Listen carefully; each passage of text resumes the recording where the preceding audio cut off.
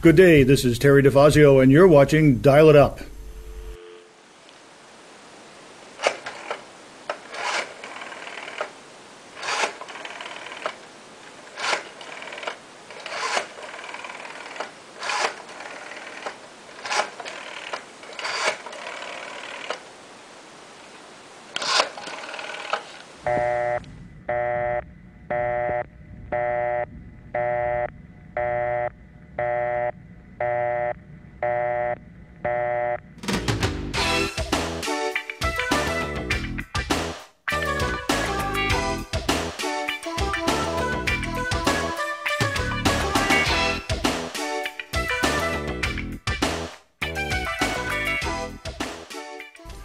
Our guests today are Representatives Mark Higley from the District of Orleans Lamoille and Representative Paul Lefebvre from Essex, Caledonia, and Orleans counties.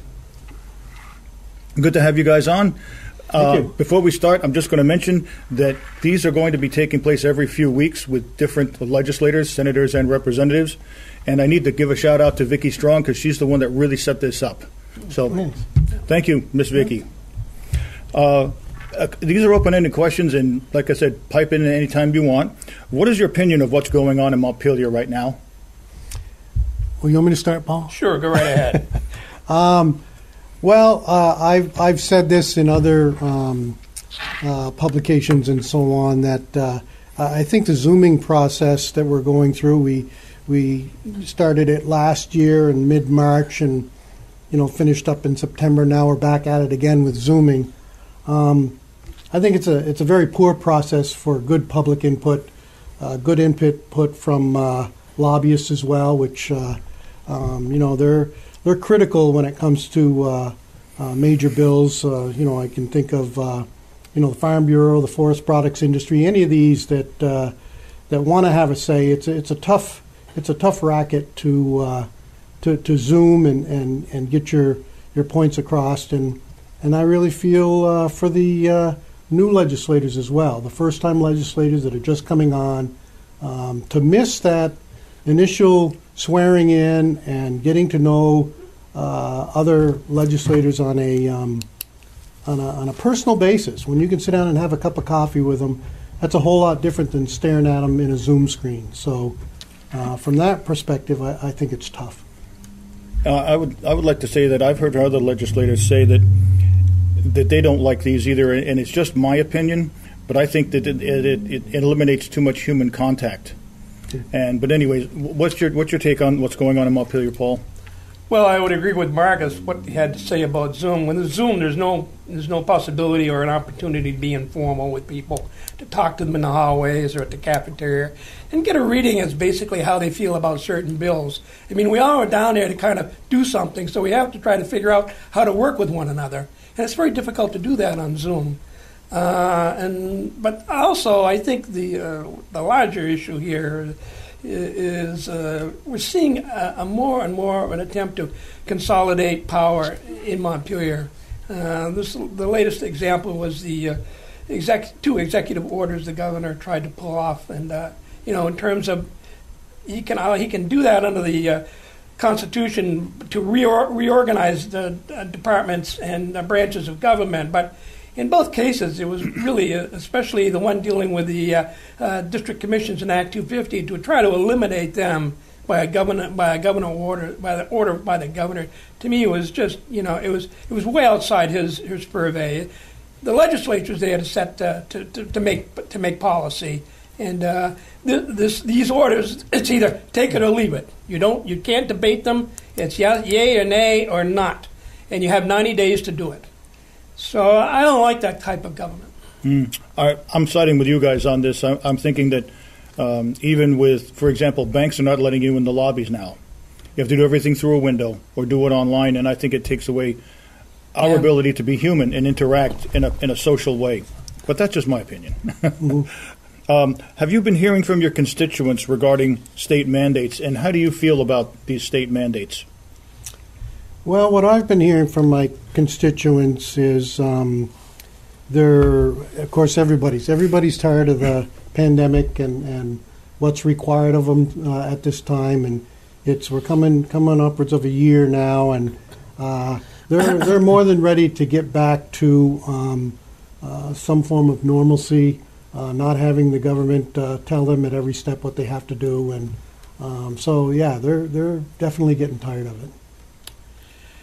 I think people are very nervous that uh, there's going to be a government government mandate for vaccination. That's the, that's the kind of emails I am getting, uh, asking me not to support any mandate uh, requiring uh, vaccination.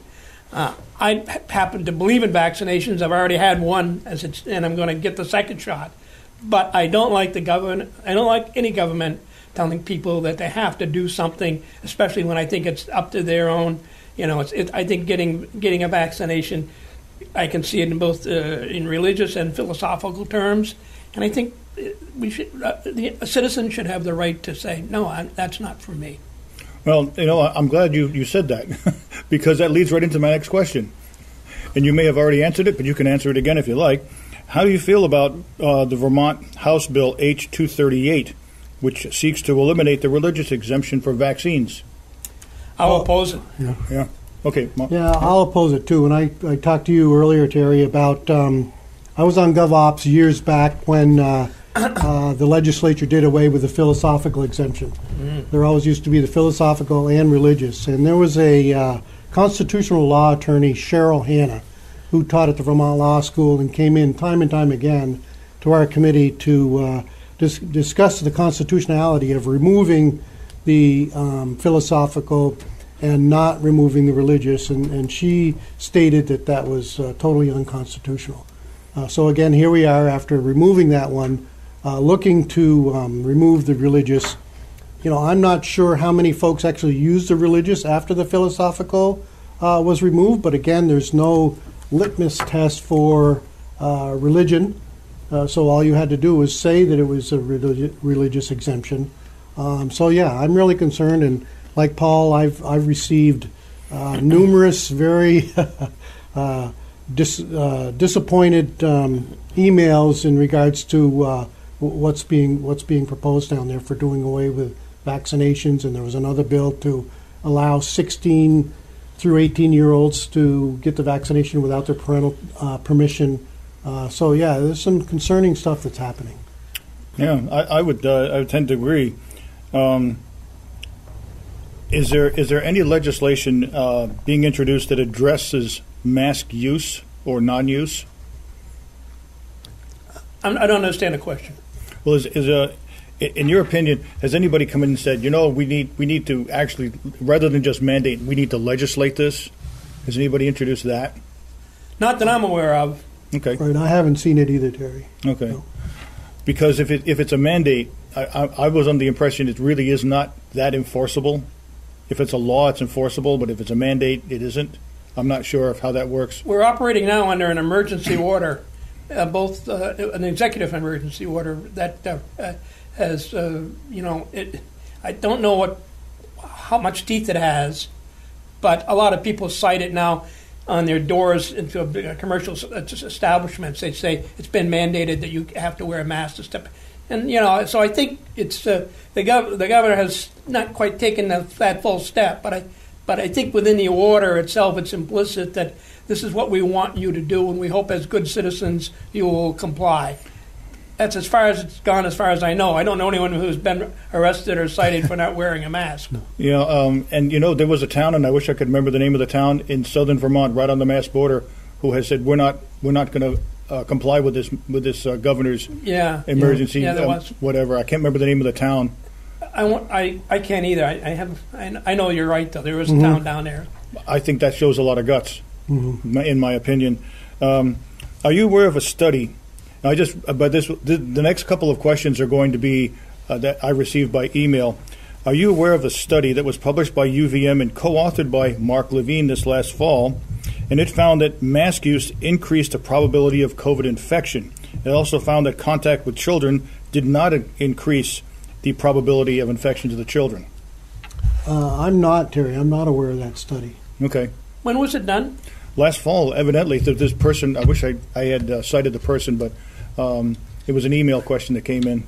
Well, uh, Dr. Levine, Levine has been so steadfast in his uh, support of wearing masks. I'd be surprised that he supported uh, the findings of such a study, but I haven't seen it, and I haven't heard people refer to it as reasons why they don't have to wear masks. Yeah.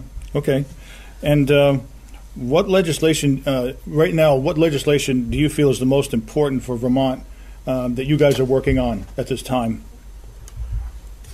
Well, I would say that, uh, and I expressed this right to the speaker initially, that uh, because of the uh, zooming, uh, which which I don't feel is uh, conducive to good public input, uh, we should basically try to deal with the, the COVID issues and the federal money that's coming in again. Um, I don't really think that's happening. I'm starting to see, you know, whether it's gun control issues in the Senate and other things in the House that are taking up time. Um, so um, I, I wish uh, that it was the case that we only dealt with the uh, COVID COVID issues at this time. Okay. I'd like to see a, as short a session as possible for the same reasons that Mark outlined. Uh, it's, as I say, it's it's really a, a lot of work to do uh, to legislate from home. Uh, it, uh, you're you're just stuck in this cubicle and you're not meeting people and you're not getting a sense of how things are going. And uh, I, I I don't like it. I, I try to make the best out of a bad situation, but I don't want to aggravate it any further by going on and on. And I, I would rather get it get over get do the business we have to do to protect the state's finances and, and especially the small businesses, and um, and uh, hopefully by another year we will be able to go back to the state house and do our work as usual. And, and if I could, Sure, go Terry, ahead. Another please. another concern for me is uh, uh, there's been concerns over the past uh, few bienniums in, in regards to the number of bills that are being introduced. And I would have thought that you know during this this COVID crisis uh, that that that would have slacked off a little bit. But uh, lo and behold, uh, I think we're what, over 500 bills that are uh, you know being uh, drafted up and proposed, and uh, you know that that to, to me is uh, is, a, is a real concern. Again, you know it all depends on on which ones are taken up. Um, I asked in my committee uh, the end of last week. Um, another uh, fellow legislator asked what the process was. This is a new legislator uh, for getting their bill introduced in committee. Well, the speaker's the one who uh, uh, appoints a bill to a committee, and then generally um, a committee will at least give an individual a time to present their their uh, their bill. Um, and when I asked uh, my chair uh, last week uh, what that process was during the zooming process and so on, it was said that with such limited time um, that that's that's not going to happen this year. And and to me, what that tells me is, uh, you know, the majority pretty much has their agenda planned out, and that uh, any of the bills that are on the wall uh, that that they have no interest in, and that's generally the way it is anyway. But uh, you know, they're not uh, individuals aren't even going to get an opportunity to uh, to present their, their their bills. That leads me to another question I didn't even have written down. But do you guys feel that um, Chittenden County seems to be overrepresented? That might be an understatement. Yeah, and, and the, the problem is, of course, and, and actually we're going through this again in the next year here in my committee, um, is the reapportionment. oh, please explain. I haven't heard about that yet. Go ahead, please. Yeah, so reapportionment uh, by you know federal law, you have to be represented by, um, or you have to represent. Representatives have to represent ba- basically the an equal number of, of uh, residents, Okay. and, and that number for each representative is around four thousand two hundred. Um, and it's required by law. When we, I was on GovOps uh, 10 years ago when we went through it. Um, it's another reason that I asked to serve on GovOps again uh, so that I could hopefully um, help out and, and uh, show folks the, the pitfalls and, and all that's involved. But um, it sounds like the census uh, numbers aren't in yet, which is a concern because we have a certain timeline that we have to go by. There's a legislative apportionment board that's working on it now. And uh, once they come up with their basically maps and, and what they're looking at, uh, we take over. And, and next year, uh, we're supposed to have a new uh, uh, a new map for uh, districts in, in, in Vermont. Yeah, if I could ahead. add to that, uh, um, we in rural Vermont are losing people. Right. Yep. And as we lose people, we also lose representation. And we're up against it this year because in, in, in Essex County, for example, the last figures I saw, there were down minus 1. Caledonia and Orleans were kind of zero, had, new, had, had, had more or less flattened out. But, uh, but what we are facing now is the, the uh, with the shrinkage of our population in Essex County and not gaining in, the other two, the Northeast Kingdom, I think, is is, danger, is dangerously close to losing or having to get even larger in order to have uh, retain its uh, senators, its number of senators, and and it's really too bad that when they put the Senate together, that they didn't allow uh, each county to have two senators, and uh, maybe if, they, if you if you wanted to stay with thirty. One on the west side of the Greens and one on the east side of the Greens, the Green Mountains, that is. I, I, but I, re- as Mark says, reapportionment is going to be. Uh, we used to have a, an old Northeast Kingdom guy used to head the uh, uh, the government operations committee in the House, and that's where it starts. That's where they start to draw the map.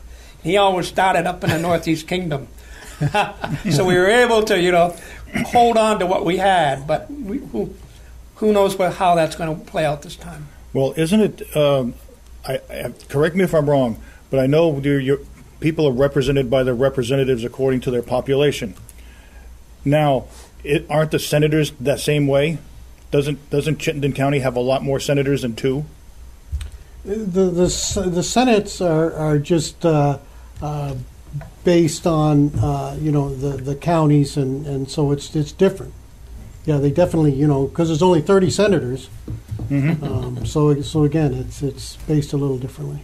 Oh, okay. Yeah, he's right. I, I don't know what the number is either, but uh, Senate is is, com- is composed differently than the House.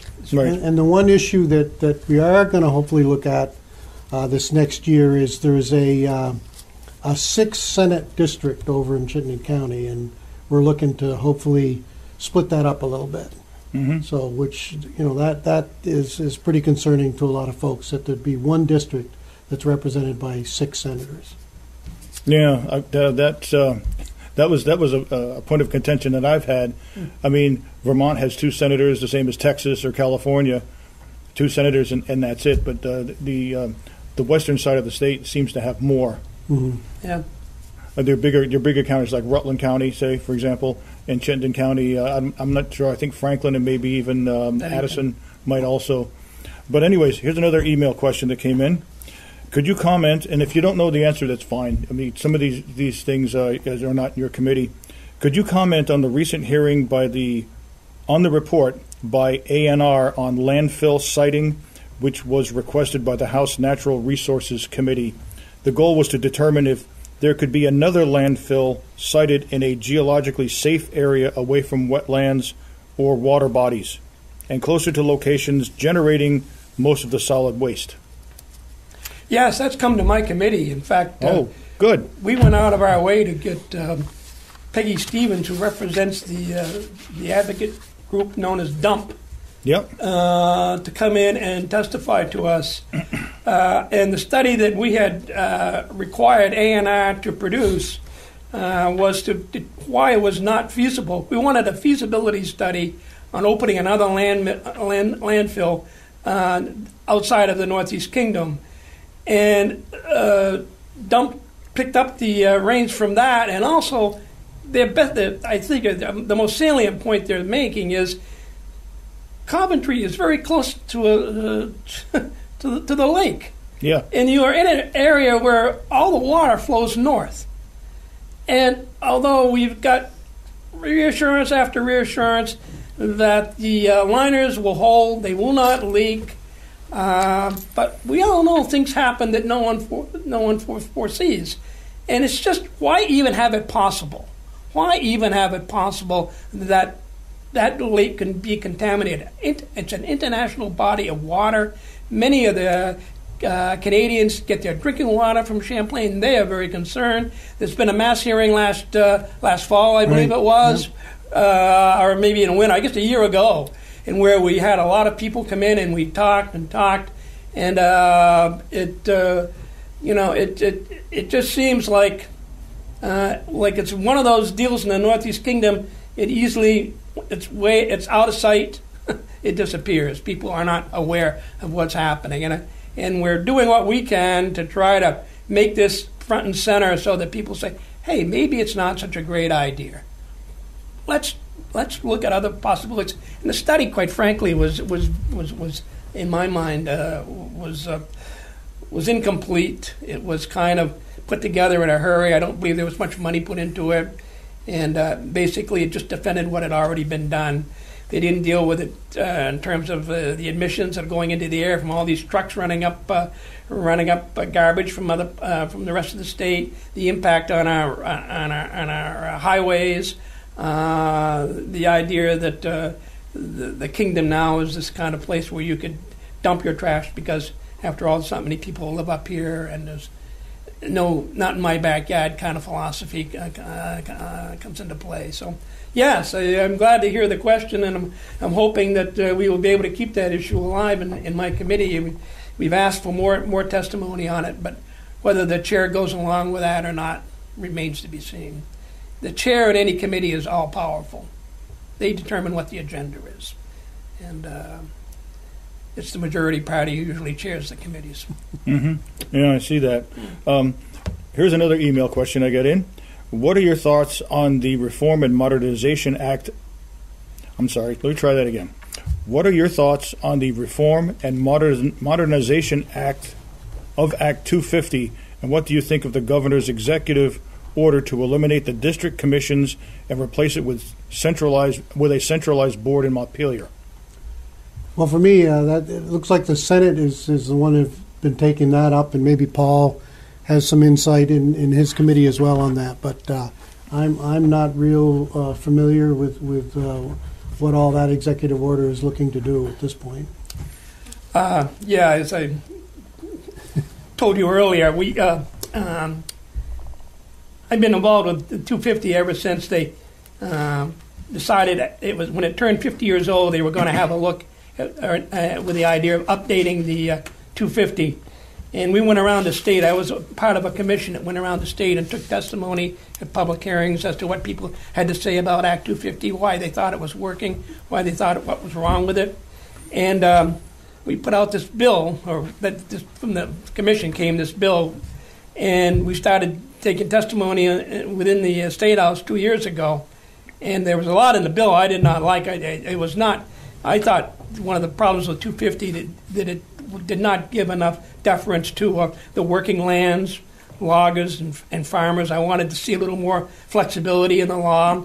I wanted to see a little more local uh, application, so that you know the Northeast Kingdom is not like is not like uh, Addison County, and uh, that and and we had this terrific fight, and the fight started with the second uh, year of the session the governor and the VNRC, the Vermont Natural Resources uh, Council, which is a, uh, a, lobbyist, an environmental lobbyist, came in and wanted to replace the the, uh, the, uh, uh, the, the, nine regional commissions.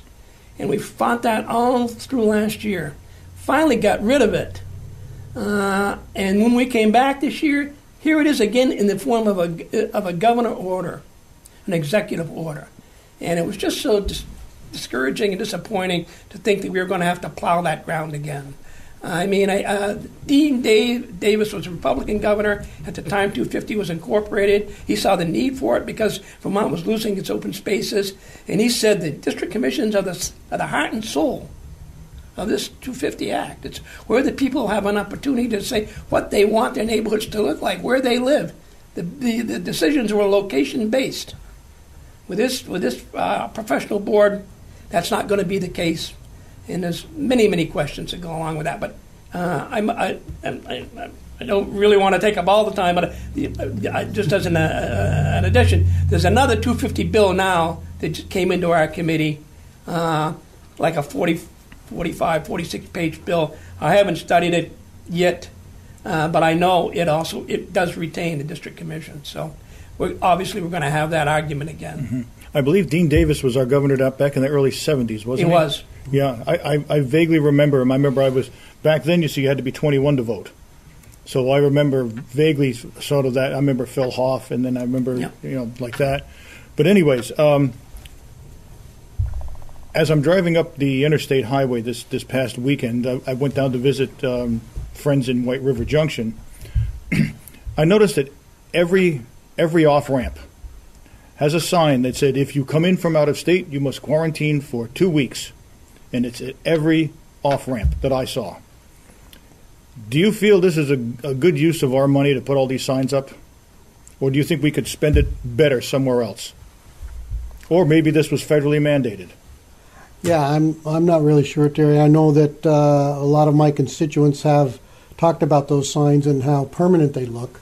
So let's hope that's not the case. Uh, but um, yeah, it's uh, it's been mentioned to me as well as seeing those signs.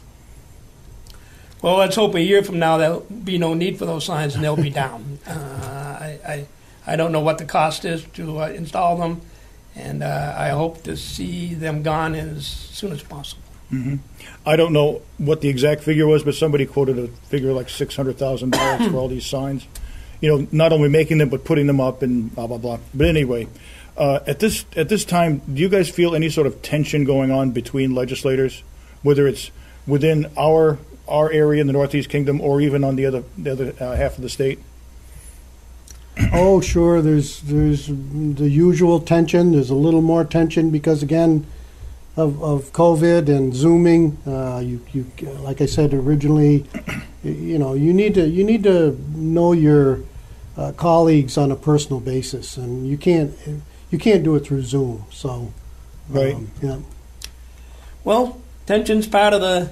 It's the nature of the beast in politics. There's always tension, and I think it's probably driven to a new height in the last few years. I think more and more uh, po- politics has become increasingly polarized, um, and uh, what happened on the national level is kind of is kind of souping down into the states. I think. I think there's a lot more polarization in now than there was when I first went in 2014. Uh, and I, you know, and a, and a lot of, and the issues are, are difficult to resolve. They just are. Uh, a lot of times, it's not so much party issues in Vermont; it's whether or not you live in uh, in uh, in urban Vermont or rural Vermont. Uh, you know, look at broadband, for example. Mm-hmm. You know, I mean, you know, I, I, I in my, my my broadband is so poor that it goes in and out, in and out. Uh, it's really uh, a, a, an additional obstacle that I have to work under, and it's just you know, and there's no really end in sight. It- It's going to take a federal electrification, uh, something along those lines, to bring broadband into the rural areas because it's expensive, you know, and uh, so. I like to shut my video off anyway, Paul. You know Well, what I mean? and, yeah, I, I, I got a lot of time to do. A lot, but a lot of times I, I lose I lose the whole thing. I know, I know, it's, it gets bad. And uh, like right now, my wife and I are both Zooming. Um, and, and so I really don't have a lot of bandwidth to do that. And uh, if I can just elaborate a little too, uh, um, what I've seen is um, there's always been people that disagree with you on one issue or another, but now it's become pretty visceral. Oh, Uh, yeah. Whether it's whether it's an email that uh, I mean used to maybe years back, you know, say that they disagreed with me and here's the reasons or whatever. Now I'm pretty much called every name in the book, um, and uh, you you see it in print, you see it, uh, you know, on email, and uh, it's uh, it it gets to you after a while. It really does. I imagine so. Yeah. Not as fun as it used to be. Yeah. Well, um, gentlemen, uh, how can people contact you? Like emails? Is that the best way? Email's best. It's it's any legislator, so it's their first initial, last name at leg.state.vt.us. Okay. I will make sure that I put up a graphic at the end. Great. Like, as a matter of fact, right about at this point, I will put up both of the, your uh, emails so Yep. people can get in touch with you. Uh, I want to say that this half hour has shot by really fast, and I want to thank you for, for being here. I, um, this is like the first show that's going to be uh, done, I think, in three weeks. I have two other people coming in, and I'm not sure who it Great. is. But, anyways, it was great having you here. I learned a lot, and, and, I, and I know our viewers did. So thank you. Thank you. Thank you. Appreciate it. Hopefully, we've set the bar high. This is Terry Difazio for Dial It Up saying, tune in sometime, and we'll catch you later. Bye.